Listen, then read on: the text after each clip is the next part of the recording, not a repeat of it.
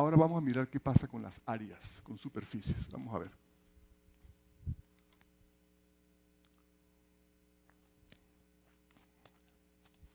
Ok, ¿cómo, cómo medir superficies? Y es lo más sencillo son los cuadrados. Y los rectángulos igual. Pero un cuadrado, la superficie de un cuadrado es multiplicar la base por la altura. Nada más. Ahora, cuando la superficie es irregular, hay que hacer algo, hay que pensar más, hay que sacar más cuentas. ¿no? Pero fíjense que en ese caso se puede hacer un truco muy bonito. No pasa, ajá. Si nosotros dividimos el cuadrado, no sé si se ve bien, ¿no? Se ve más o menos, ¿no? Eh, si dividimos el cuadrado en estas figuras, observamos que, que con esa figura que está en el cuadrado, esas divisiones, si lo cortamos por donde están las líneas negras, como si fuese un rompecabezas, podemos armarlo y armar aquella. Fíjense, el triángulo grandote que está allá es ese que ese triángulo que está en la, eh, en la esquina, creo, yo no, lo veo bien desde aquí. bueno, el que es facilito de ubicar es el cuadrado. ese cuadrado es aquel cuadrado. Bueno, lo cierto es que esas piezas ustedes las rearman y obtienen aquella. ¿Eso qué significa? Pues eso significa que el área de aquella figura es esa. Porque el área de esas piezas no cambió porque uno las rotara y las acomodara allá. Esa área, esas dos figuras tienen la misma área. Digamos.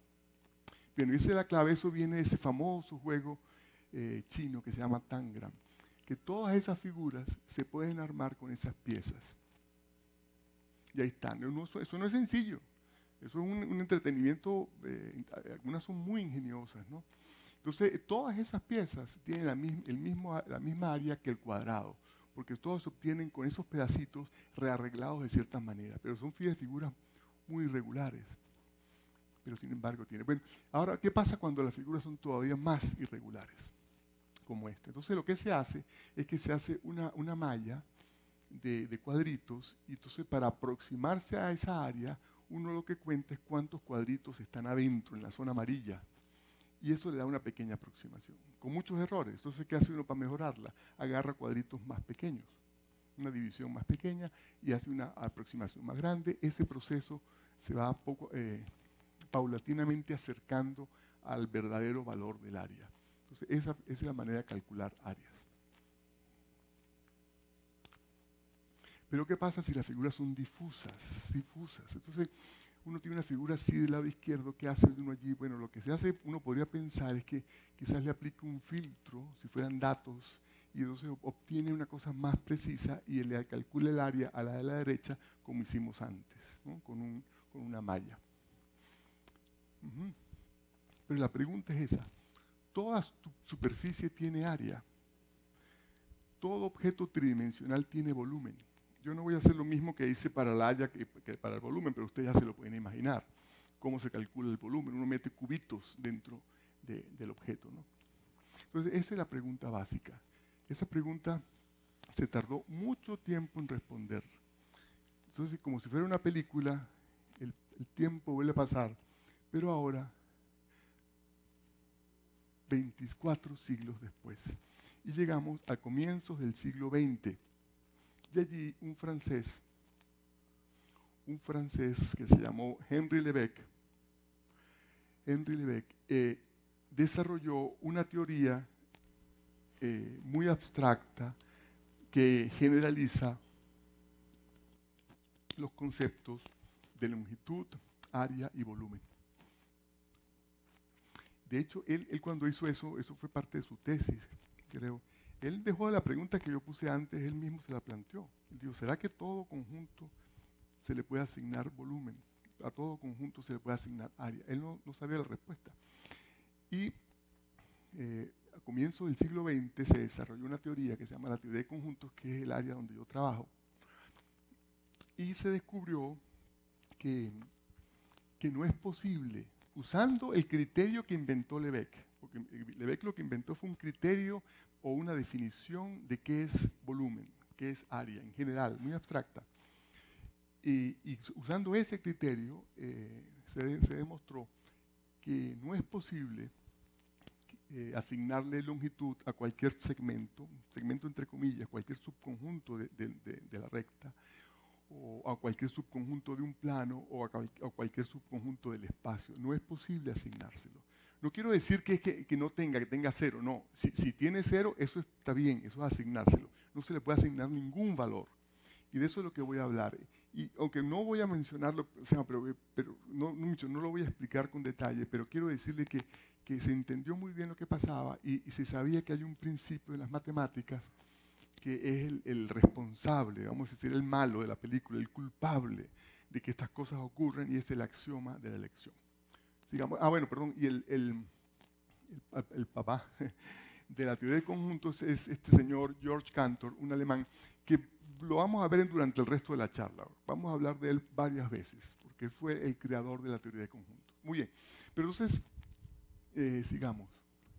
Pero entonces, si hay, si hay subconjuntos del plano que no tienen área, ¿cómo son? ¿Qué podemos decir de ellos? Y prácticamente es muy difícil tratar de imaginárselos. Yo, yo para esta charla, pues, eso fue uno de, las, uno de los retos para mí, fue poder hacer ese dibujo.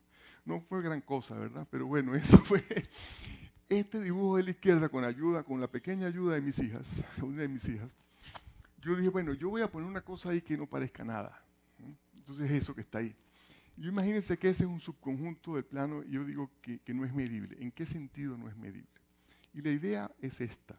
¿Por qué a ese conjunto no se le puede asignar área? Entonces uno dice, imagínense que son unos datos que llegaron, entonces están mm, con ruido, están, hay que limpiarlo. Entonces lo que se hacen es filtros. Y ahorita, hasta con el mismo PowerPoint, usted puede poner un filtro y convertir eso en aquello. Entonces uno le aplica el filtro y se convirtió en aquello que está al lado derecho. Y a eso sí tiene área. Ah, está muy bien. Entonces dirá que aquel sería una aproximación al área, pero resulta que si le aplica otro filtro, se, se convierte en otra cosa. Y entonces, ¿cuál es el área? Si uno empieza a hacerle diferentes enfoques a esa misma figura, diferentes filtros, diferentes maneras de verlos, obtiene figuras con áreas muy diferentes.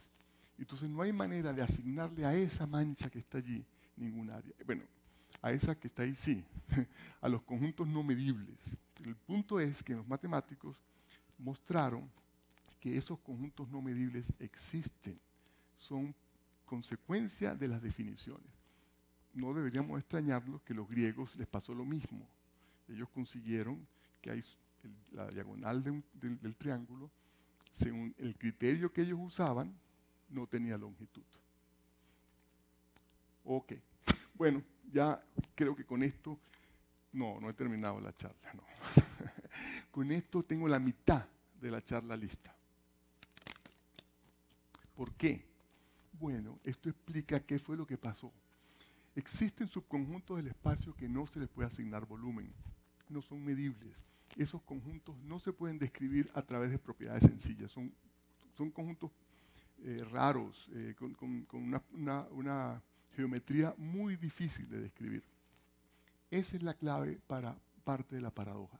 Cuando se parte la esfera en pedazos, esos pedazos en que se parte la esfera no tienen volumen. Esos pedacitos que están allá arriba volando, esos pedacitos no tienen volumen. Son no medibles. Y entonces la paradoja desaparece, porque la paradoja era, si usted suma los volúmenes de los pedacitos, le da el volumen del lado izquierdo. Pero si lo suma del otro lado, le da dos veces. Pero es que los pedacitos no tienen volumen. No hay nada que sumar. No se pueden sumar los volúmenes de los pedacitos porque los pedacitos no tienen volumen. Esa es la cosa extrañísima.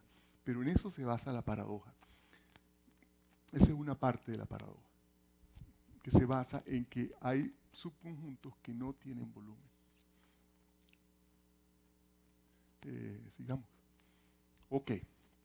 Entonces ya más o menos expliqué, traté de explicar cómo se logra una parte de la paradoja. Hay que hacer algo muy extraño de poder partir la esfera en pedacitos que no tienen volumen. O sea, que no son cortes sencillos. No es que usted corte la, esfera por la mitad con un cuchillo, no. Son unos cortes muy extraños. Entonces, ¿cómo se logran hacer esos, cortes? Esos cortes se, se, hacen gracias a las propiedades que tiene el infinito. Y de eso es que voy a hablar ahora. Bueno, pero comencemos. ¿Qué es el infinito? Y ese dibujito es muy común que, aparezca, ¿no? Que es una culebra que se come, que se muerde la cola. que da como que no se termina nunca, en un ciclo, como un ciclo infinito, ¿no? Eh, digamos. Y hay un personaje que también va a aparecer otras veces en esta charla, que es Jorge Luis Borges. Jorge Luis Borges es un escritor argentino, ustedes todos conocen, y él estaba fascinado, no sé si obsesionado con el infinito. Escribió muchísimos de sus cuentos. Se podría decir que el personaje principal era el infinito. Y dijo esta frase que me pareció muy interesante, ¿no? Dice, hay un concepto que es el corruptor y el desatinador de los otros. No hablo del mal cuyo limitado imperio es la ética, hablo del infinito. Entonces yo puse la palabra desatinador en rojo porque yo, nunca la había visto como verbo, ¿no? Pero, pero es eso que es, algo que, hace que, que, produce desatinos. Y desatino es que uno se equivoca, no atina, no apunta donde debe ser. Desatinar es pensar cosas como locas, es producir paradojas. Y eso es lo que dijo Borges, el infinito produce paradojas. Y después dio una definición muy, muy poética que dijo que el infinito es el lugar donde están sin, sin, confundirse todos los lugares del orbe, vistos desde todos los ángulos. O sea, allí está todo, ese es el famoso Aleph. El Aleph que fue un eh, Cantor usó ese nombre para referirse a los infinitos, Jorge Luis Borges lo usó como título de un cuento. ¿no? Ok, pero para los matemáticos es algo mucho más sencillo, por supuesto. Para los matemáticos, el infinito paradigmático, la clave, la base de todo, de todo son los números naturales, que son los números que usamos para contar. 1, 2, 3, 4, 5, 6, etc.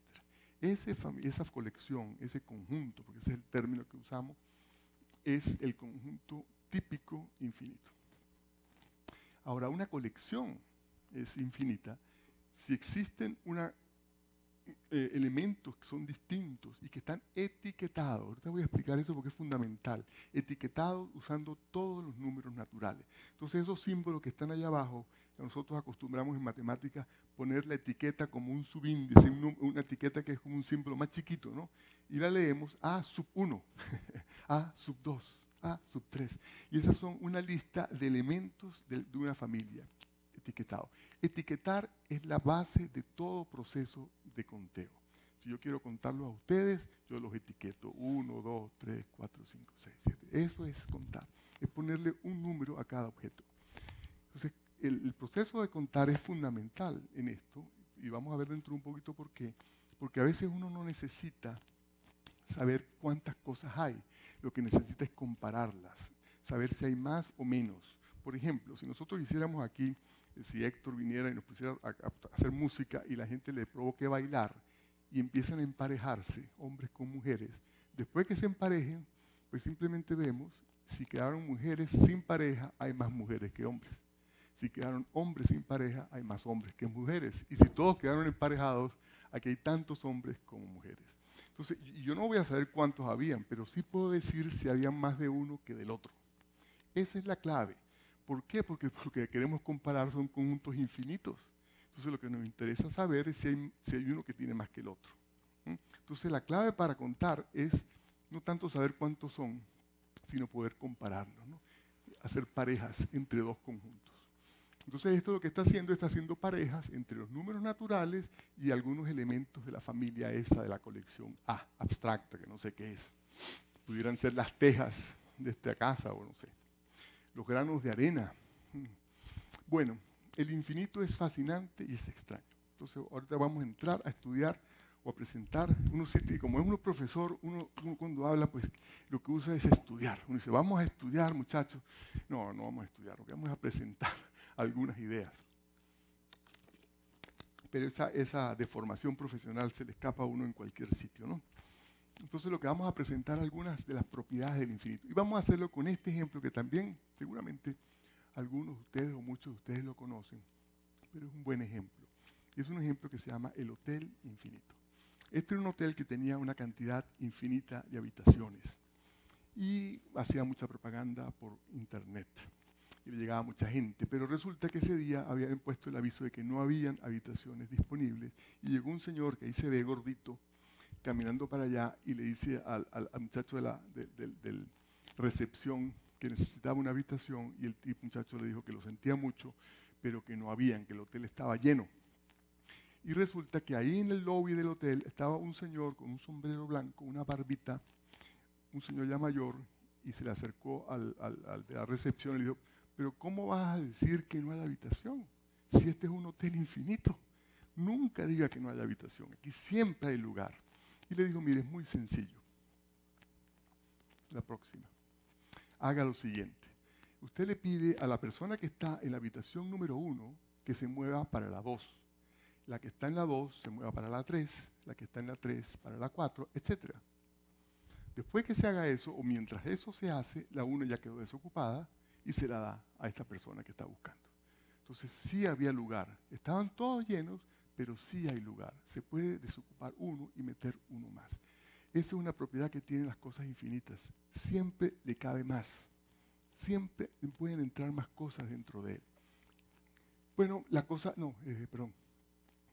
Resulta que ese día el cepro muchacho tuvo grandes problemas porque le llegó un autobús infinito, todos buscando habitación cuando llega que el, guía turístico, él llama de nuevo al viejito y le pregunta que le dé una mano, que lo ayude. Y le dijo, no se preocupe, eso también se puede resolver porque este es un hotel infinito. Ahora el procedimiento es un poquito más complicado, pero muy fácil de entender. Ahora lo que le va, a pedir a todos los huéspedes es que, que multipliquen por dos el número de su habitación. Entonces, el que está en la habitación 1 va para la 2. El que está en la 2 va para la 4, el que está en la 3 para la 6, en la 4 para la 8, etc. Después que se hace eso, ¿qué pasa? Todas las habitaciones que tienen un número impar quedan desocupadas. La 1 quedó desocupada porque estaba ahí se fue a la 2. La 3 quedó desocupada porque el que estaba ahí se fue a la, a la 6 y nadie llegó a la 3. Entonces eso quiere decir que todas las habitaciones que tienen número impar quedaron desocupadas. Quizás un poco sucias, pero desocupadas. Lo cierto es que le desocuparon y, llegó el, autobús y metió a ese gentío ahí. Siempre hay espacio en los conjuntos infinitos. Este, bueno, después venía otra escena que me la comí y no la voy a hacer, pero se la voy a contar. Y es que después llegó, llegaron infinitos autobuses infinitos y el Señor, el viejito, logró meterlos a todos. Esa es una propiedad de los infinitos. Sigamos. Bueno, ¿cuál es la propiedad básica, esencial de los conjuntos infinitos? Que es la clave de todo. Y ya nos vamos a empezar a ver por qué la paradoja no es tampoco tan paradoja. ¿Qué fue lo que hicimos en ese hotel infinito?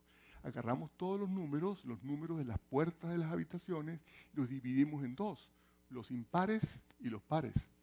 Y resulta que hay tantos impares como pares y hay tantos impares como todos. Es decir, esos tres conjuntos son todos del mismo tamaño. Uno puede emparejarlos. El 1 va para el 1, el 2 para el 3, el 3 para el 5, el 4 para el 7, el 5 para el... Así van y puedo emparejar los del lado izquierdo con los impares. Y puedo hacer lo mismo del lado izquierdo con los pares. Esos tres conjuntos son, los tres son infinitos y los tres tienen el mismo tamaño. Pero lo curioso es que el, del lado izquierdo es la unión de los otros. Es decir, el lado izquierdo tiene adentro de él dos cosas que son idénticas a él. El lado izquierdo, que lo llamo A, es igual a B unión C, donde B es los impares, C son los pares, y tanto B como C como A, todos son iguales, iguales en tamaño. Eso es parecido ya a la paradoja. La esfera se parte de un, mecanismo complicado que vamos a explicar en dos cosas igualitas. El conjunto del lado izquierdo se partió en dos conjuntos igualitos. Bueno, y aquí llegó, eh, eh, el, eso, ese, es el mismo Cantor de hace rato, pero más joven. Él fue el que probó algo que realmente revoló, como decimos, eh, revoló los tapones, eso no se entiende aquí. le cambió el paradigma de todas las matemáticas de esa época él demostró que los conjuntos infinitos no son todos del mismo tamaño. Y lo mostró verificando que el, infinito de los números de contar es estrictamente más pequeño que el infinito de la recta. ¿Y cómo lo hizo? Yo no, no, voy a repetir, con un método sumamente sencillo, pero muy, muy, muy ingenioso. Y es lo que hacíamos, eh, eh, hacíamos hace rato con los números pares, con las eh, parejas ¿no? que estaban bailando. Imagínense que vamos a hacer lo siguiente. Vamos a, tratar de comparar los números que son de la forma P sobre Q, los racionales, con los números que no son de la forma P sobre Q irracionales. Entonces, para que nos entendamos, yo voy a suponer que los racionales son los hombres y los otros las mujeres los irracionales, aquí sin ofender a nadie, ¿no? O sea, los racionales son los hombres y los irracionales son las mujeres. Pero es solamente una comparación para ubicarnos porque lo vamos a poner a bailar. Entonces vamos a agarrar a un racional y, le, asociamos un irracional para que baile. Y así vamos. ¿Qué fue lo que hizo Cantor? Digo, no importa, no importa cómo se le ocurra a usted asociar, emparejar racionales con irracionales, hombres con mujeres, siempre va a sobrar una mujer. Siempre. Para que entiendan esta situación, imagínense que vamos a hacer eso aquí nosotros, que es una cantidad finita, y emparejamos. Y emparejamos y resulta que sobraron mujeres. Generalmente es así, ¿no? Porque hay más mujeres que hombres. Entonces emparejamos y sobraron algunas mujeres. Resulta que hay gente que se queja, ¿no? Que la muchacha se quejó porque le tocó una pareja que no bailaba bien y que la pisaba. Entonces, bueno, vamos a rearmar la cosa de nuevo y volvemos a emparejar. ¿Cuántas mujeres quedan ahora sin pareja? La misma cantidad. Eso no importa cómo hagamos el emparejamientos. Queda siempre la misma cantidad. Eso fue lo que mostró Cantor con los irracionales y los racionales. No importa cómo usted los empareje, siempre sobran irracionales. ¿Por qué? Porque el infinito de los irracionales es más grande. Eso fue muy, muy asombroso. Yo creo que todavía lo es creo que lo pasa, esto dice un, matemático muy famoso que se llamó von Neumann, un húngaro, y él decía, en matemáticas uno no entiende en realidad las cosas, uno simplemente se acostumbra a ellas. Y yo creo que con esto los infinitos pasa igual, uno se acostumbra a ellas, se acostumbra a que hay infinitos de diferente tamaño. Bueno, ese descubrimiento, está, la base de ese descubrimiento está en los griegos. Cuando los griegos descubrieron los irracionales y empezó toda esa historia de las matemáticas, eh, ahí estaba el germen, ese, ese germen de, de Borges, ese germen que es desatinador de todo. Porque entraron en matemáticas los infinitos actuales y Cantor lo que hizo fue genialmente estudiarlos. Bueno, ¿qué viene ahora? No sé. Ajá, el infinito y más allá. Esa lámina, yo le iba a poner el, dibujito de, de Buzz pero no sé, no me, no me atreví. Eh, pues que Cantor no se quedó con eso nomás, no se puso a contar mujeres y hombres racionales y irracionales, no, algo más complejo. Él, él probó que los infinitos, los tamaños de los infinitos no se acaban nunca usted siempre puede conseguir infinitos cada vez mayores, cada vez más grandes. Ese fue eh, eh, uno de los grandes aportes de, Cantor. Muy bien, ¿qué viene ahora? Ah, creo que viene algo de la vida de Cantor. Es una, anécdota interesante. ¿no? El Cantor se casó, una señora se llamó Valerie. Y un año después que publicó eso de los infinitos que no son todos iguales, tuvieron seis hijos. Pero esta es la anécdota que me pareció muy curiosa. ¿no? Él era muy amigo de otro matemático que se llamaba Dedekind. Perdón. Y se fueron lo que se podría llamar su luna de miel, aunque quizás no fue justo después de casarse, sino un tiempo después, pero era su primer viaje como pareja, como marido y mujer. Y resulta que él ah, invitó a que fuera Dedekin a ese viaje. Entonces, mientras su mujer dormía, sería, él se iba con Dedekin a hacer matemáticas. ¿no? Eh, bueno, ustedes ven la pasión que ellos tenían por esto, muy, una pasión realmente asombrosa. Cantor tuvo muchos problemas con, sus trabajos porque no fueron aceptados al comienzo. Mucha, mucha oposición. Ahorita voy a mostrar, mostrar uno que se opuso mucho a él. Y sufrió colapsos nerviosos y tuvo que internarse varias veces. Murió internado en 1918. Eh, en las cartas que él escribe, eh, hay un libro, hay varios libros sobre él, pero hay uno donde publican las cartas que él escribía a su esposa. Son desgarradoras. esa época era muy dura porque estaba la Primera Guerra, eh, él pasaba mucha hambre y pasaba mucho frío en ese sanatorio. Entonces le pedía a la mujer que le llevara comida, que, ella cocinaba muy bien. Bueno, era, son fuertes las cartas esas. Bueno, esa es la vida de George Cantor, el papá de la teoría de conjuntos. Ese es mi tatara, tatara, tatara, tatara abuelo. Bueno, aquí es un resumen de lo que hemos visto. Tenemos a Pitágoras y a Hipaso, eh, de Metaponto. Descubrió que los irracionales existen, que hay longitudes que no son medibles. Él se opuso, Pitágoras se opuso a Metaponto. Y en este lado tenemos a Kronecker, que fue el que se opuso a, a, a Cantor. Él, era el director de una revista y Crónica le retuvo los trabajos, se, tardó mucho en publicárselo. Cantor tuvo que casi que cambiarle el título a los artículos para disimular lo que estaba haciendo, para que el, título del artículo no llamara demasiado la atención, no, generara mucha controversia. Pero dentro del artículo estaba probando eso, que los infinitos son cada vez más grandes. Eh, yo, no quiero decir que, es, que es totalmente análogo a la situación, porque eh, Kronecker, que yo sepa, no le hizo nada a Cantor, ¿no? Bueno, no sé, no sé Pitágoras, pero bueno, lo cierto es que eh, esa intolerancia eh, intelectual ocurrió en esa época de los griegos, ocurrió con Cantor y ha ocurrido muchas veces en la historia de, de, la ciencia. ¿no? En física hay casos sumamente bien documentados. Muy bien, ¿qué vamos a...? Ajá, ajá, ¿qué? Ok, Vamos a ver ahora de nuevo la paradoja, volvamos de nuevo a la paradoja que es el tema de la charla. ¿Qué es lo que es la paradoja? Una esfera de radio 1, la vamos a partir en pedacitos, y los pedacitos los reagrupamos y formamos dos esferas de radio 1. ¿Qué, ¿Qué tenemos? Los pedacitos no son medibles, por eso el volumen no se preserva. ¿Dónde está el problema? ¿Cómo partimos la esfera? Aquí viene. ¿Qué, viene? ¿Cómo se consiguen los pedazos de la paradoja? Y aquí está, se usa un método muy ingenioso.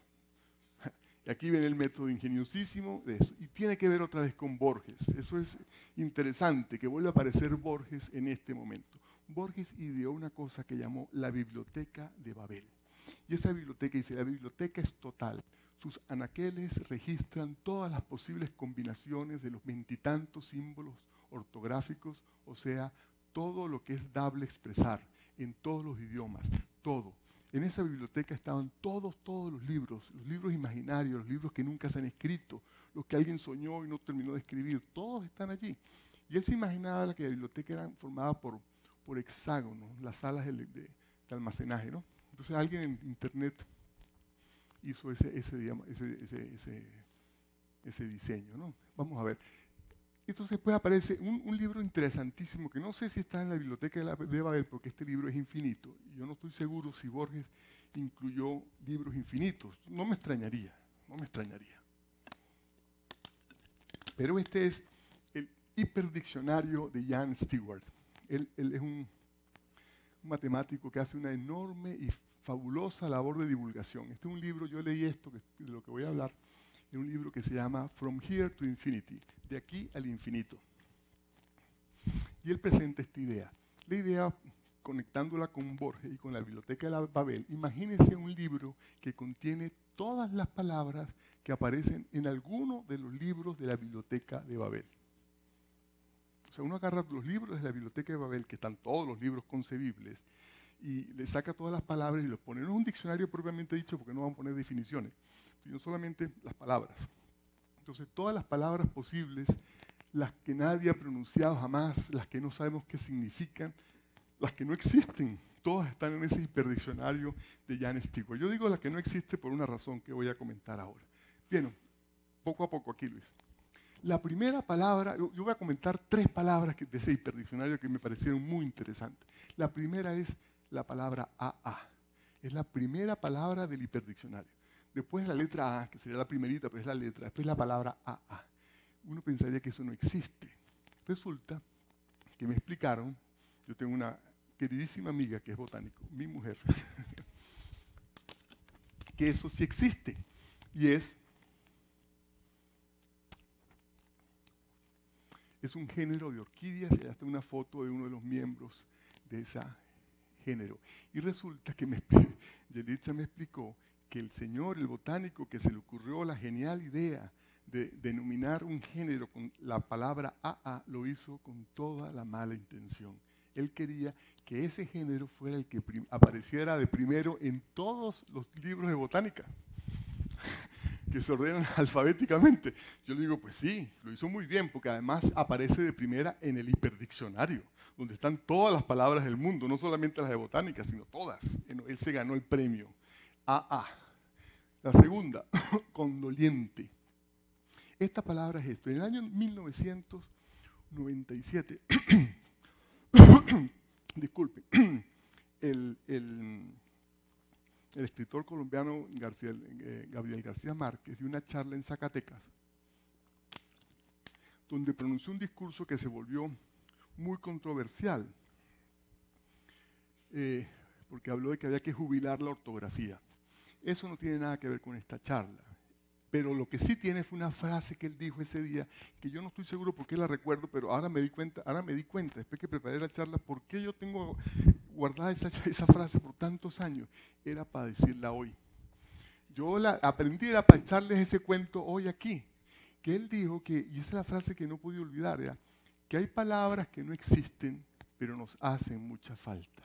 Y dio como ejemplo la palabra condoliente esa palabra no aparece, ni aparecía, ni aparece en el diccionario de la Real Academia.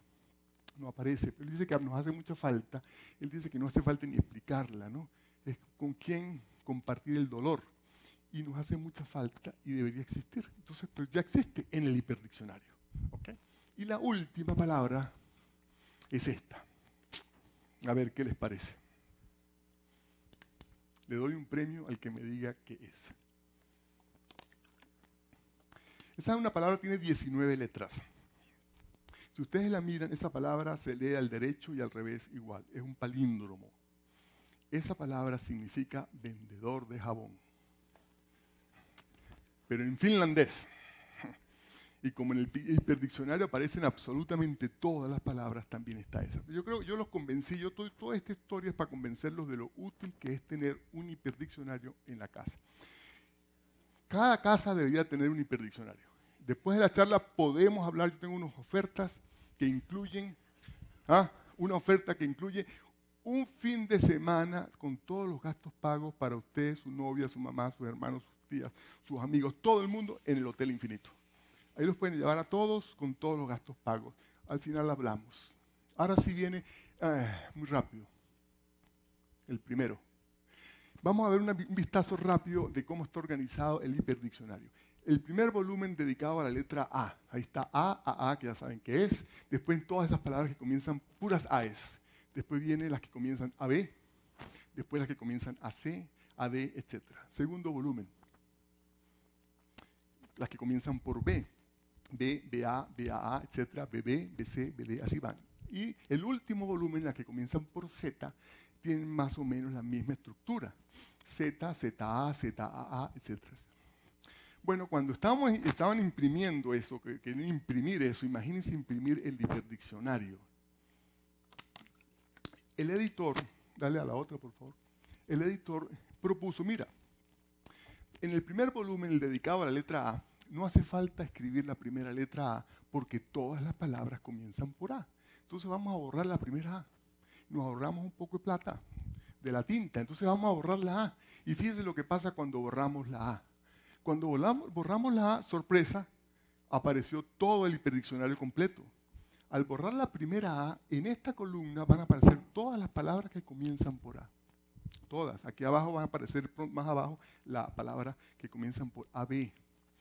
Aquellas más abajo aparecen las que están BB, etc. Entonces es una cosa muy curiosa que tiene el, hiperdiccionario. Con un volumen tenemos todo el hiperdiccionario. Eso lo represento así. Eh, B sub A, palabras que comienzan por la letra A, B sub B, las que comienzan por la letra B, etc. Entonces el hiperdiccionario eh, pues, es la unión de, de, todos esos volúmenes. ¿no? Entonces lo que acabo de decir es esto, que si uno, y el símbolo menos significa borrar, si uno a, las palabras que comienzan por A le borra la primera A, lo que obtiene es todo el hiperdiccionario. Todo. En un volumen está todo. Acuérdense que son infinitos. Acuérdense que las, esferas se parten en dos, los pares y los impares. Todo eso es lo mismo aquí, o parecido. En un, solo, volumen está todo el hiperdiccionario.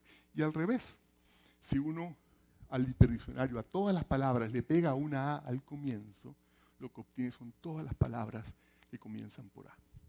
Y entonces esa es la imagen que está allá. Es unos espejos enfrente del otro que se reflejan de manera infinita. Está el hiperdiccionario, dentro de él está un volumen, dentro del volumen el hiperdiccionario, dentro de él a su vez el, volumen, etcétera, etcétera. Se, se repite hasta el infinito. Yo no estoy seguro si ese es Borges. Me pareció que sí era, pero yo nunca he visto una foto de Borges tan chiquito. pero apareció en una página de Borges y por eso la puse. Porque él estaba eh, obsesionado con esto. Bueno, aquí está la clave. Ya nos estamos acercando al final, no se preocupen. Ya no voy a hacer más citas de Borges. Los pedazos en que se parte la esfera se obtienen modelando la superficie de la esfera como si fuera un hiperdiccionario basado en un alfabeto con solo cuatro letras. ¿Okay? Solamente cuatro letras. Como por ejemplo, el ADN es un diccionario con cuatro letras. es un alfabeto con solo cuatro letras y esas letras lo que representan son rotaciones del espacio. Entonces ya ahí empieza a aparecer la matemática que está detrás de eso. Y allí es una matemática que está, pertenece a una área de la matemática que se llama álgebra lo que está detrás del hiperdiccionario, perdón, es unas estructuras matemáticas que se llaman grupos. Y eso es lo que, está, lo que se usa para modelar eh, el hiperdiccionario que se usa para la, paradoja. Vamos a ver, aquí viene un dibujito. Yo quedé fascinado con estos dibujos. Yo nunca pensé que yo iba a poder tener un dibujo de esto. y eso no lo hice yo. Eso está en internet. Yo le decía a, a Héctor hace rato que esta charla que yo estoy dando ya está en internet. Ya igualita, excepto por esta frase que acabo de decir. Eso todo está en Internet. Bueno, esta es la idea. eso que está aquí de azul, eso es la superficie de la esfera, la parte externa, donde estamos parados aquí, la superficie de la esfera. Esos punticos, eh, lo que se hace con el hiperdiccionario es que uno le pone una etiqueta a cada punto de la esfera. ¿Una etiqueta que es? Una palabra. ¿En dónde? En ese hiperdiccionario especial de cuatro letras. Cada punto de la superficie se le asigna una palabra van a haber puntos con las mismas palabras. Entonces, eso permite clasificar los puntos de la esfera en pedazos. Con esos pedazos se van a formar los pedazos para dividir la esfera, la esfera sólida. Y, la idea es esa. Mire lo que se hace. Uno agarra un puntico de esto que está en la superficie y lo une con el centro de la esfera por un segmento. Entonces queda esa cosa así como un erizo esférico. Esos pullitas que están ahí van del centro a uno de los punticos que señalé cada pedazo de los que hicimos arriba genera una cosa de esas. Y así se forman los, pedazos para la paradoja. Uno primero marca la esfera, de cierta manera muy, muy ingeniosa, y después cada puntico lo, lo proyecta, lo prolonga hasta el centro, y eso ya me da una cosa, digamos, sólida, al menos un subconjunto del espacio, no cree que tiene, es sólido. Pues. Bueno, ese, son. Entonces, ¿qué, ¿qué es lo que pasa?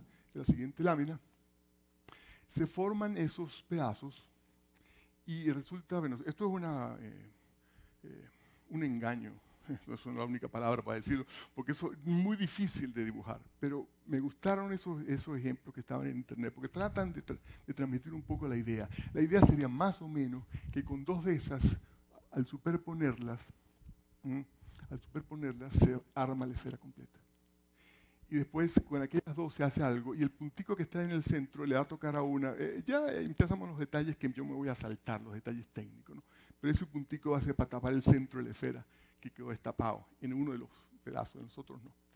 Pero bueno, así más o menos lucirían eso, pero les digo, eso es, no es completamente cierto, porque es imposible de dibujar los pedazos porque esos pedazos no tienen volumen son no medibles, son extremadamente difusos, con una geometría muy compleja.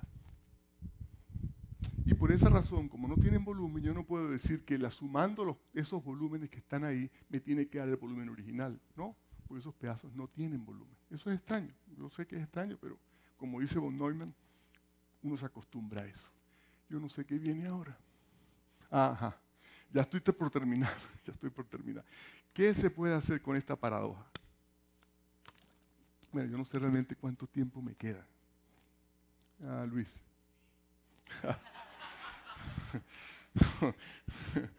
yo, no sé, yo no sé si aguanto. bueno.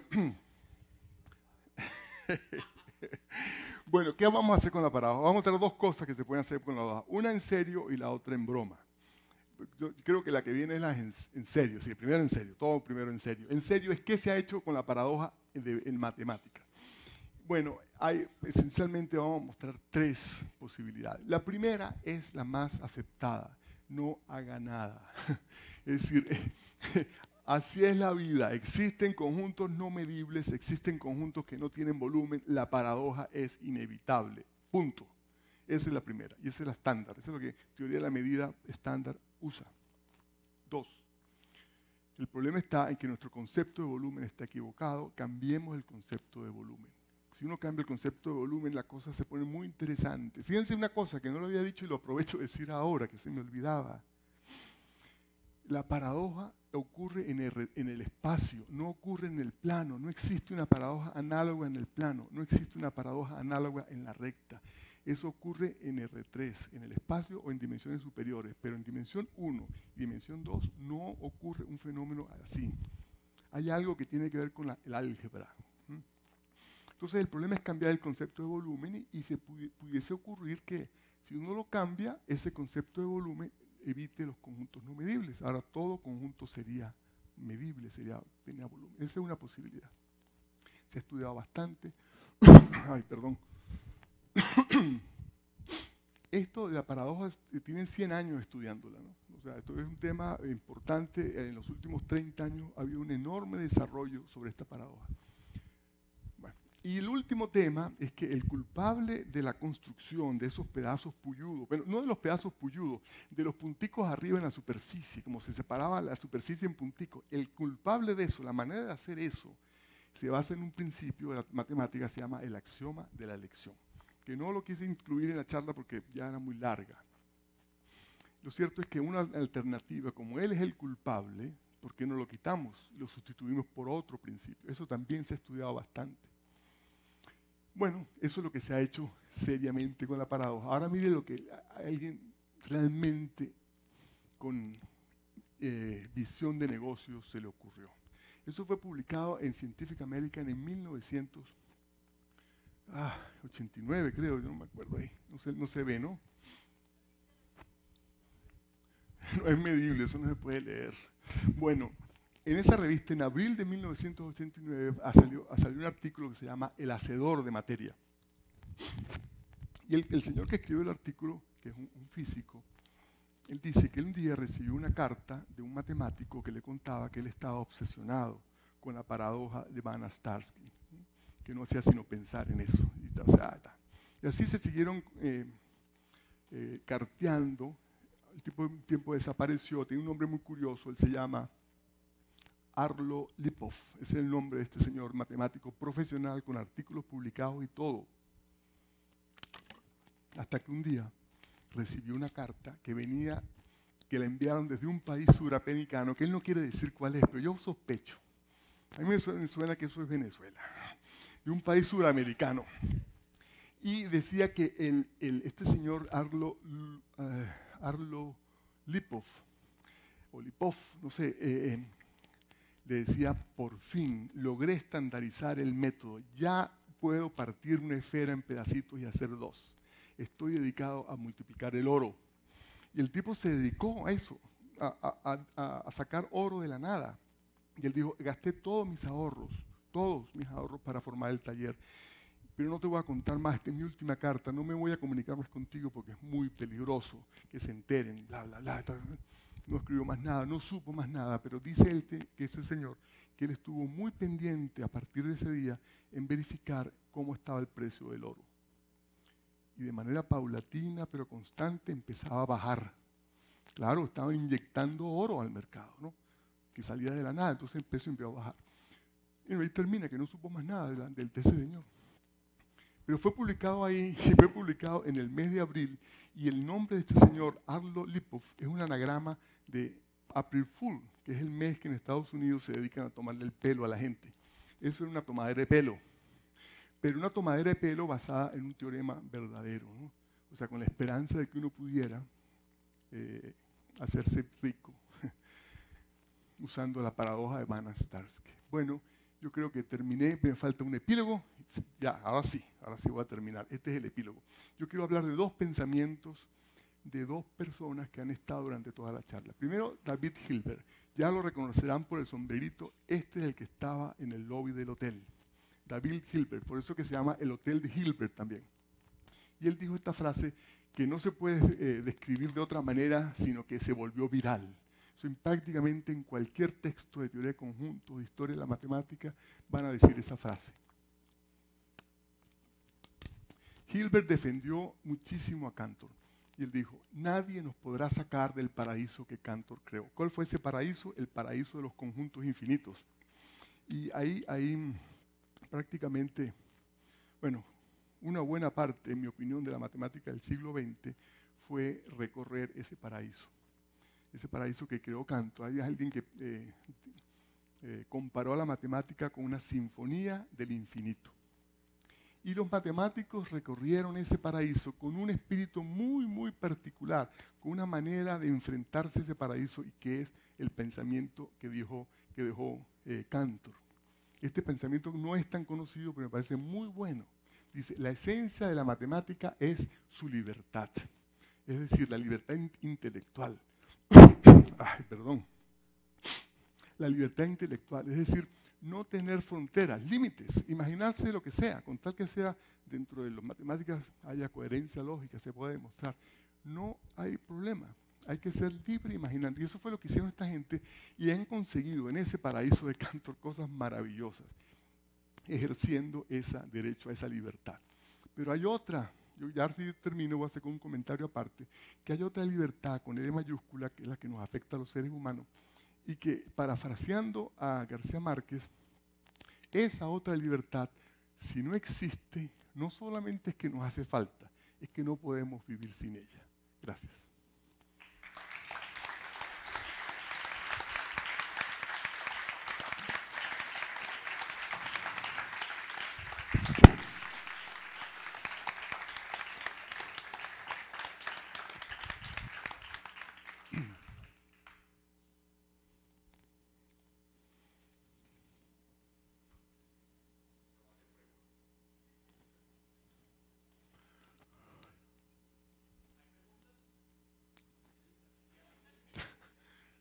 Voy a, responder al F0, no más.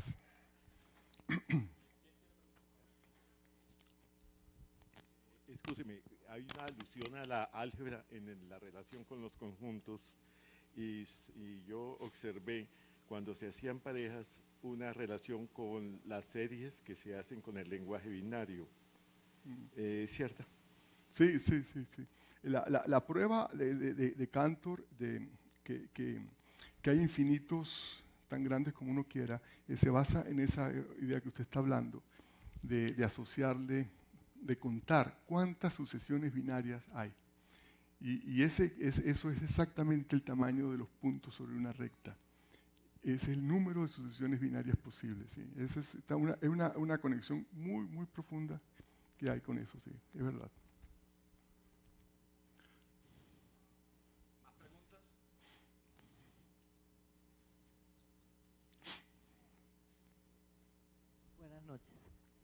Eh, yo quisiera saber si eh, la demostración del teorema realmente se cumpliría si se pudieran cortar todos los pedazos y sacar las dos esferas. ¿Eso no, no, se ha podido hacer?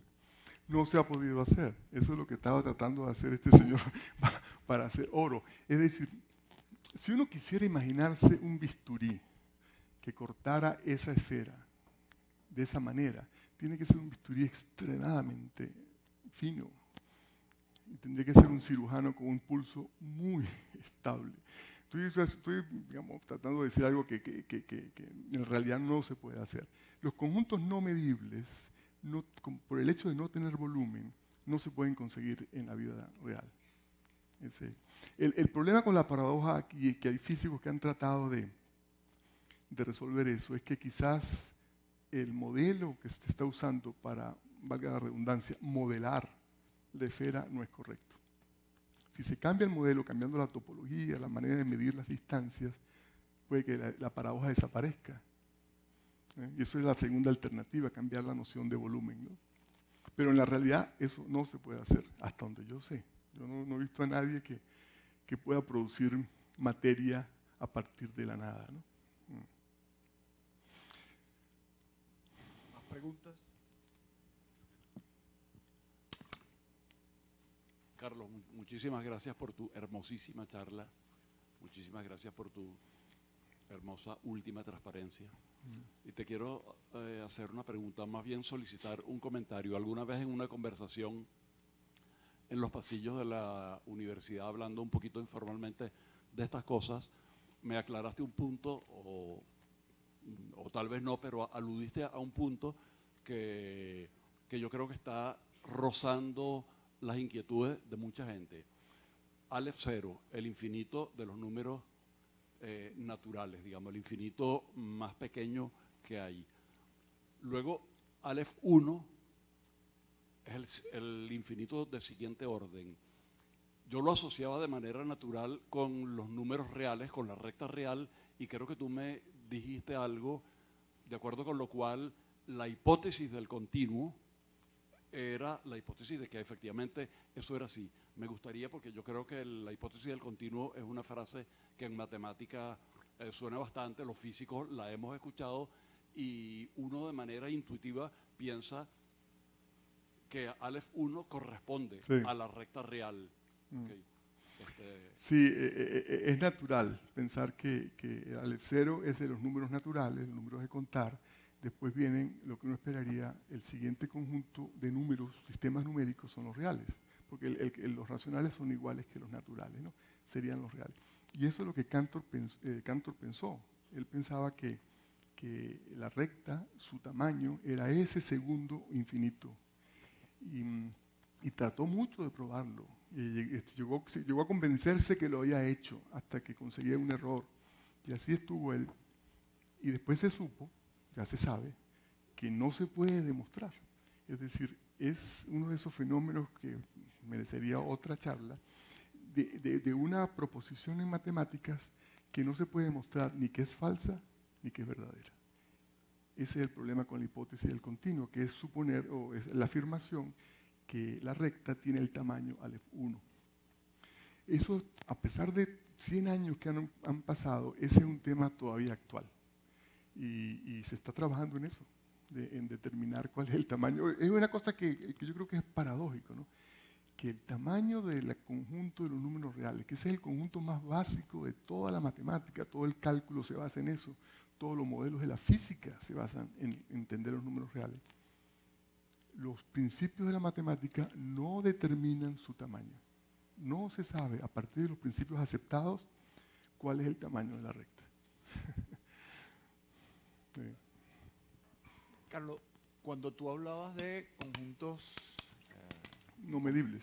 No medibles. Eh, ponías el ejemplo del área que, mm. estuviste dándole vuelta para, ponerla, que había una, unos filtros que tú le aplicabas a, la mancha esa y que te generaban áreas efectivamente medibles. El número de filtros que tú le puedes aplicar utilizando el mismo, el mismo símil, eh, ¿es infinito o es finito?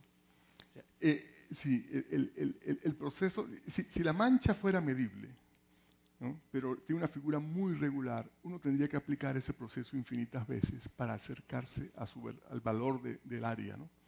Lo que ocurre con, las áreas no medibles es que usted le, aplica ese procedimiento de una cierta manera y obtiene, digamos, área 1,5 metros cuadrados. Pero usa otro procedimiento y obtiene 40 metros cuadrados. O va por otro lado y obtiene cero, que no tiene área.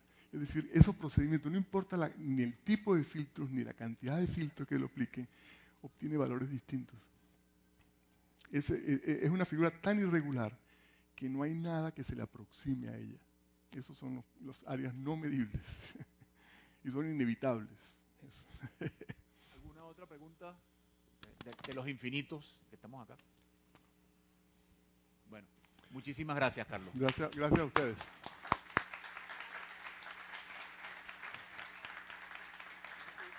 Sé.